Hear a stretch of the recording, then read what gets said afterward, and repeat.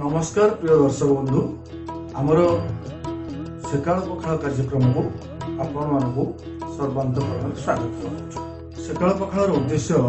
হচ্ছে ভিন্ন ଏହା ଯେ ଆଜି ପର୍ଯ୍ୟନ୍ତ ହଜି ହଜି ଯାଉଥିବା ଅନ୍ୟାନ୍ୟ ଜିନିଷ